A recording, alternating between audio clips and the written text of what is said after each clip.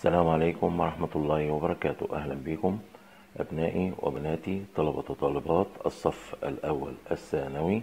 إن شاء الله نبدأ معاكم مراجعات هامة جدا في الكيمياء لأولى ثانوي.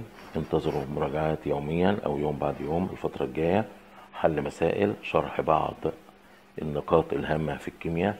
حاجات مهمة جدا نحاول نفتكرها مع بعض ونحلها مع بعض. يعني النهاردة مثلا هناخد مسألتين ثلاثة كده من ضمنها.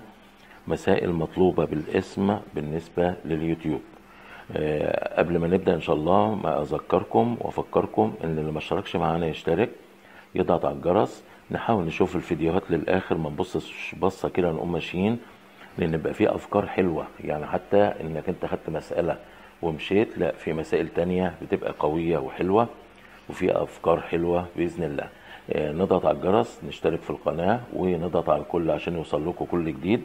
ونشارك الفيديوهات بجدية عشان نفعل بس القناة شوية وتدعم بإذن الله بفضل من الله أولا ثم بمشاركتكم معنا ونشير الفيديوهات لزمايلنا نبدأ على طول كده إن شاء الله.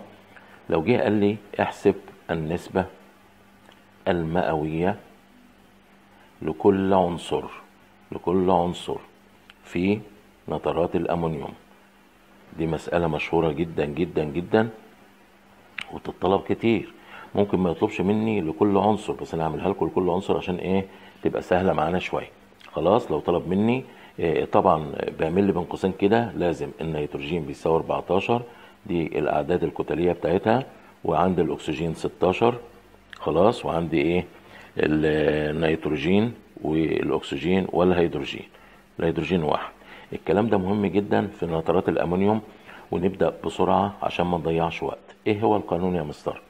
اولا القانون النسبة المئوية اللي هكتبه بقى الإيه؟ الأساسية. النسبة المئوية الكتلية بنجيبها إزاي؟ بتساوي عدد ذرات العنصر. عدد ذرات العنصر في المركب اللي عطوهولي خلاص؟ في الكتلة الذرية بتاعته اللي عاملها لك بين قوسين. في الكتلة الذرية اللي بنقول عليها العدد الكتلي يعني. على كتلة المول للمركب اللي عطوهولي ما تنساش تضرب في مية لأن في ناس يقول لك نسبة مئوية يبقى مية في المية بره وخلاص. لا لازم يتضرب فوق في البسط إيه؟ في مية. نبدأ بقى على طول عشان الوقت. هقول النسبة المئوية. طبعا قبل ما أجيب حاجة أنا عندي نترات الأمونيوم إن اتش 4 إن أو 3 نجيبها إزاي؟ الصيغة على طول صيغة بتاع صيغة بنائية أو صيغة جزيئية على طول. يعني النترات NO 3 الأمونيوم NH 4 زي ما أنتم عارفين. دي احادي ودي احادي خلاص. طب ليه يا مستر دي مجموعة ذرية؟ وإحنا عارفين المجموعه الذريه على اليمين مش على الشمال لأنها مجموعة موجبة. ما تنسوش دي موجبة. طيب إحنا عاوزين نجيب واحد مول الأول. إحنا ما جبناش واحد مول واحد مول من نترات الأمونيوم. طب أجيبها إزاي يا مستر؟ سهلة جدا بنجيبها وعارفين. هنقول 3 في 16 إزاي؟ جت منين؟ تلات ذرات أكسجين في 16 اللي هو عطاها لي. زائد كام ذرة نيتروجين؟ عشان نختصر. اتنين. في النيتروجين كام؟ 14 الناس اللي ما ذاكرتش كيمياء من أول السنة. نبدأ مع بعض دلوقتي أهو إن شاء الله مع بعض. أربعة في واحد. خلاص؟ وبإذن الله يوميا نحاول ننزل مراجعات كيمياء فيزياء أحياء. وهنكثف الموضوع النهاردة عشان امتحان الأحياء بتاع بكرة بإذن الله. خلاص بيساوي 3 في 16 ب 48 زائد 28 زائد 4 هتساوي كام؟ أدي كده 16 20 8 80 جرام. 80 جرام. طبعا طلبة يقول لي بالآلة الحاسبة مفيش مشكلة. احسب بالآلة الحاسبة. نبدأ شغلنا بقى. النسبة المئوية لأي عنصر يعجبني. يعني إيه يا مستر؟ إنت عندنا أي عناصر موجودة أهي. أبدأ بأي حاجة. أبدأ بالأكسجين. نبدأ بالأكسجين. النسبة المئوية للأكسجين. يلا نطبق القانون اللي فوق ونشتغل على طول. عدد ذرات الأكسجين كام؟ 3 في 16 تمام. أنا بقول الكلام ده ليه؟ لأن أنا قايل لك الشرط. عدد ذرات العنصر في المركب. أهو 3 في الكتلة الذرية بتاعته اللي عاملها لي. أهو. في 100 ما تنساش. هتقول لي ال 100 خليها بره. هي هي. كده أحسن لي عشان ما انساش. على 80 اتفضل. آلة حاسبة ومن غير آلة حاسبة. صفر مع صفر. على 8 في الواحد على 8 في الاثنين الاتنين في تلاتة بكام؟ بستة. يبقى ستين إيه؟ في المية. طيب يلا. النسبة المئوية للنيتروجين. أي حاجة المهم لازم ال total يبقى إيه؟ المجموع في الآخر 100% تعالوا كده النيتروجين. النسبة المئوية للنيتروجين كام؟ كم ذرة نيتروجين أول؟ اتنين. في الكتلة الذرية بتاعتها 14 في 100 ما تنسوش. أهو. على 80 يلا نختصر صفر مع صفر. على الاتنين فيها الواحد على الاتنين فيها الأربعة. على الاتنين فيها الاتنين على الاتنين فيها كام؟ سبعة. يبقى كام؟ سبعين سبعين على اتنين. بيساوي خمسة وتلاتين في المية. يا مستر بالآلة. ماشي اشتغل بالآلة. ماشي. تعالى بقى الأخيرة. النسبة المئوية لمين؟ للهيدروجين. خليك ناصح وخليك ناصحة كده. لازم بصوا كده ستين. وخمسة وتلاتين خمسة وتسعين باقي كام من مية في المية؟ خمسة في المية.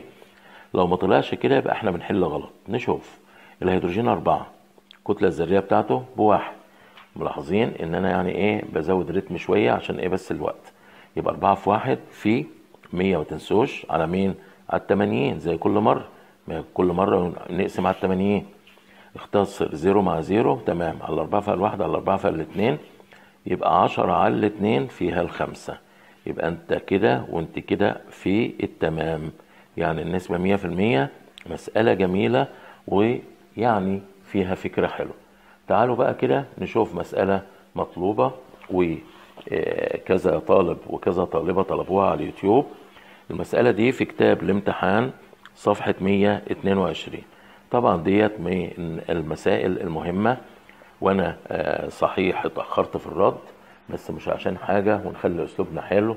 وراك شوية. يا مستر أنت ما ردتش ليه؟ ما بتردش ليه؟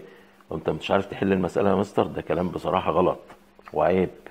عيب يا طلبة أولى ثانوي. خلاص؟ مستر بص وشاف وقال حاضر وطيب وانشغل بحاجة تانية. عيب الأساليب دي. عيب. إحنا في حاجة اسمها تربية وتعليم. للأسف التعليم يكاد ينقرض. هنخلي التربية كمان تروح. يعني خلي حاجة واحدة فيهم موجودة. فمعلش يعني كده تاني مرة خلي الأسلوب حلو. رد يا أستاذ مش عايز ترد ليه؟ في إيه؟ هو الأستاذ قاعد عشان آه أنا كتبت رقم الواتس وقلنا في مناقشات ونشوف بس المستر مفضاش إيه المشكلة؟ بفضل من ربنا شغال في جميع المراحل ودي مشكلة مشكلة عبء عليا. فإحنا نخلي أسلوبنا أحسن. المستر ما ردش. إيه المشكلة؟ بسرعة يا مستر. أصل المستر اعطاها لي ولازم الوقت احلها في إيه؟ طب ما المستر بتاعك يحلها لك. قول له حلها لي مش فاهم لكن الأسلوب ده سيء أسلوب سيء. أصل واحدة زميلتي جايبها لي وعاوز أحلها الوقت أهوت. أصلا هبقى وحشة قدامها وقدام إيه, إيه لا ما ينفعش. بلاش الأساليب دي. إحنا عايزين نتعلم من أجل العلام عشان ربنا يبارك في العلم.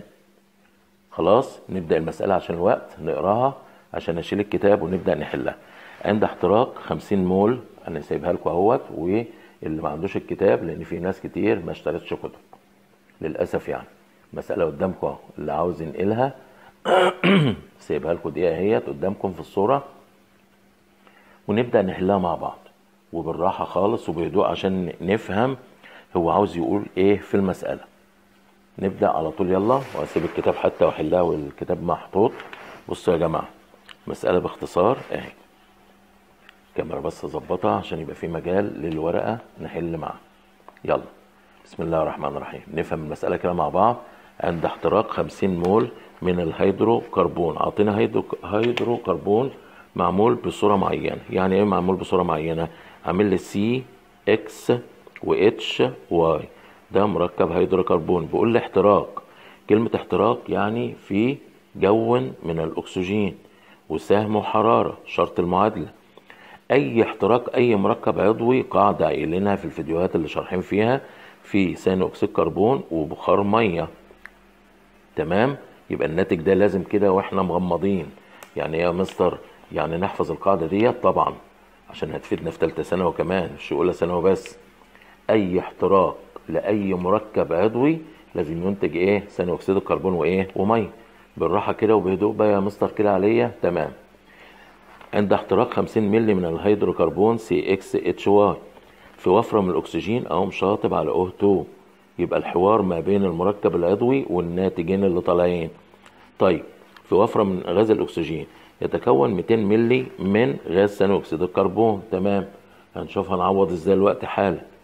250 ملي من بخار الميه عند ال STP اللي هو الضغط والإيه درجة الحرارة في الزمن القياسي بتاعنا ما الصيغة الجزيئية لهذا الهيدروكربون؟ وأعطيني اختيارات خلاص طالب مني اختيارات المسألة هسيبها كده ونبدأ نحل بقى. نقوم قاسمين الصفحة كده بالنص. ليه؟ قاسمينها بالنص ليه؟ إحنا عاوزين نشوف إيه الموضوع بقى هنا وبالراحة وبهدوء.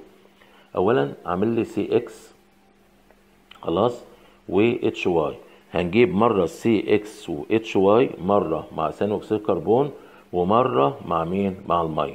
قبل ما نعمل كده نبص على المعادلة. CX يبقى أحط X قدام الايه كربون. كلمة X يعني عدد مولات. أهو. طيب الاتش الاتش هنا اتش واي طب هنا 2 H يبقى ما تنفعش كده؟ لا تنفع. بس أقول نص Y أو أكتب Y على 2 تاني يا مستر. اضرب كده 2 في 2 يعني اختصر الاتنين مع الاتنين هتبقى إيه؟ Y قدام ال H إحنا محتاجين ال H هنا ملناش دعوة بال O الوقت. يبقى هنا أنا حطيت X بس ليه؟ لأن ذرة كربون واحدة وهنا إيه؟ X عدد مولات واحد. طيب هنا عدد مولات واحد وكان هنا H 2 يبقى بعمل نص Y. خلاص أنا بس عشان إيه؟ ما زنقش الخط. المفروض أعمل نص Y كده. فنص Y عندي عشان أضربها في ال H 2 هتطلع لي Y. زي ما هو عاملها لي طب نبدأ بقى شغلنا.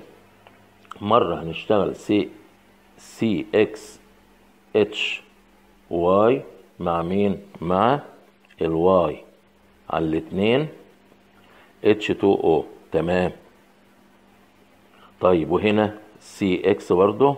HY مع مين؟ مع ال X C O 2 عايزين نجيب ال X وال Y بقى وبالراحة خلاص وبهدوء.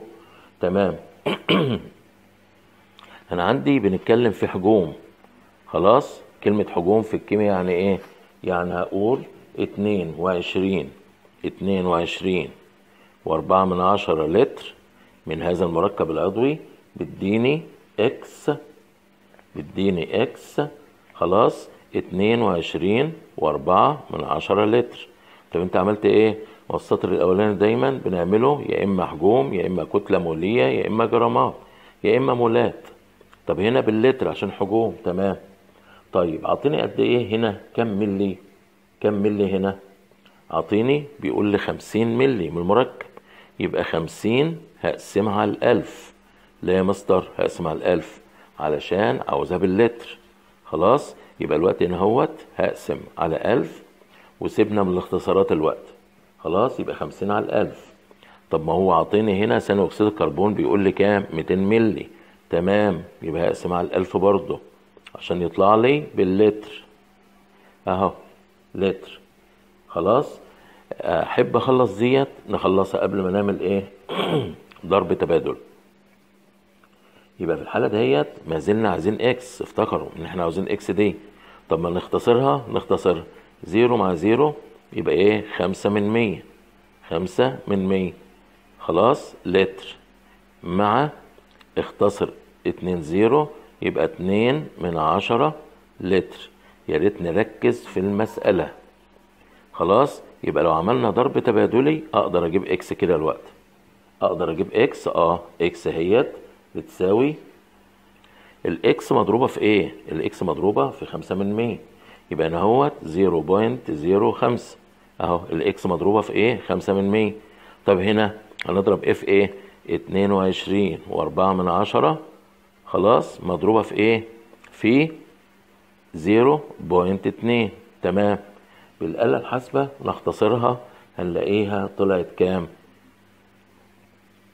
X هتساوي أربعة إيه مول يبقى ال X هنا عندي أربعة مول يبقى إحنا لو بصينا هنا أهو هل في ذرات كربون هنا أربعة؟ آه. في C ودي في أربعة وده أربعة. عايزين نشوف بقى الهيدروجين هيطلع كام؟ بنفس الطريقة. لو فهمنا دهيت دي سهلة جدا معانا. يلا نبدأ. إحنا اتفقنا؟ بنبدأ هنا حجوم قصاد بعضها. تمام؟ يبقى الوقت هنا أهو اتنين وعشرين وأربعة من عشرة لتر. خلاص؟ يبقى الجزئية الخاصة بإيه؟ بالحجم هنا. طيب بتدينا قد إيه هنا؟ اوعى تنسى. نص Y. خلاص؟ يبقى النص Y. خلاص؟ مضروبة في إيه؟ مضروبة في ال 22 أعملها dot بقى.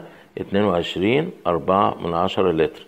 إيه حكاية dot أو نقطة؟ لما يكون في X و Y والكلام ده ما ينفعش أعمل إكس علامة فيه هنا. يعني خلي فيه برضو إيه؟ تكة ذكاء كده صغيرة. تمام. هو الأستاذ قايل لي هنا اتفقنا خمس- 50 ملي يبقى برضو عشان إيه ما نضيع بصهم اهي بالظبط زي التاني. 50 على 1000 عشان ما نقولش المستر خلفها ليه. طيب هنا اداني المرة دي إيه؟ اداني 200 ملي لا. اداني اداني 250 ملي ركزوا في الحتة التانية دي. 250 ملي خلاص من بخار الميه 250 ملي من بخار الميه يبقى هنا قصد ال 200 هتبقى 250 بس اقسمها على 1000 برضه. تمام لتر. نختصر خدوا بالكم أنا عامل الاتنين زي بعض الوقت. المرة دي أنا عايز واي. وافتكر إن ال Y مضروبة في نص. خلاص؟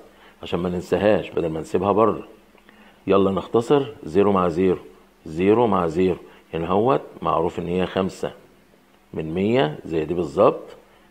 مع هنا خمسة وعشرين. اقسم خمسة وعشرين على مية. يبقى zero point اللي هي خمسة وعشرين إيه من مية. تمام. لتر. اضرب بقى كده ضرب تبادلي. وركز إن نص Y. أعملها فوق عشان ما نتلخبطش. نص Y أهي. مضروبة في إيه؟ مضروبة في خمسة. في. بلاش كده. يبقى إحنا عاوزين ال Y خلاص؟ يبقى ال Y على اتنين زي ما أنا عاملها كده أهو. هتساوي شرطة كسر شرطة كسر ال Y أو نص Y مضروبة في إيه؟ 0.05 زي التانية بالظبط. يبقى المقام زي المقام. تمام. الاختلاف بقى هنا المرة دي 22 و4 من عشرة 22 و4 من عشرة مضروبة في إيه يا شباب ويا بنات؟ 0 point دوت. خلاص؟ أو نعملها في مش مشكلة زي التانية أهي. 0.25 تمام. آلة حاسبة نطلعها. ال Y هتطلع لي. ال Y بالآلة الحاسبة نحسب. هتساوي عشرة مول. ركزوا بقى معايا كده. كان في اختيارات. قلنا يا C يا D اللي صح. أيهما دلوقتي أنا عندي ال Y طلعت بكام؟ بعشرة. وال X طلعت بأربعة. يبقى الصيغة اللي طالعة هتطلع لي C أربعة H كام؟ عشرة وده الناتج اللي طالع ومسألة جميلة وحلوة وتستاهل الناس اللي كانت طالبة تحلها وعاوزة تفهم. آه، مش هطول عليكم أكتر من كده هما مسألتين صحيح بس فيهم أفكار حلوة. المسألة الأولانية أفكركم فيها بسرعة. الأولانية أهيت مسألتين قصاد بعض اهم عشان هثبتها لكم يبقى دي رقم واحد ودي رقم إيه؟ اتنين. خلاص؟ يبقى المسألة رقم اتنين دهيت في الكتاب صفحة 122 عشان اللي عايز يجيب رأس المسألة قبل ما يحلها. ونبص فيها وفيها فكرة حلوة. طبعا دي هتفيد بتوع الأزهر أبنائنا في الخارج وممكن تيجي في التربية والتعليم. لأن بتوع التربية والتعليم بيفكروا آه اختار يعني إيه نهبط أو نفكر كده وننشن وخلاص. لا ما هي دي مسألة اختيارية اهي. يعني دي الإجابة بتاعتها حرف دي في المسألة.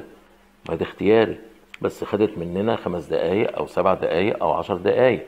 فالناس ما تقولش مقالي ولا مش مقالي.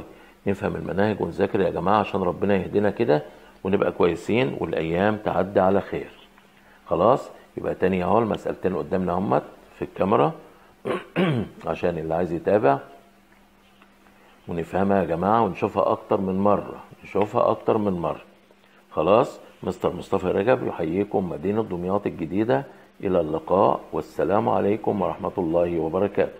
المسألة التانية برضو سايبها لكم اهي شوية صغيرين نبص عليها ونفكر فيها لأن بصراحة مسألة حلوة وفيها فكرة. إلى اللقاء والسلام عليكم ورحمة الله وبركاته.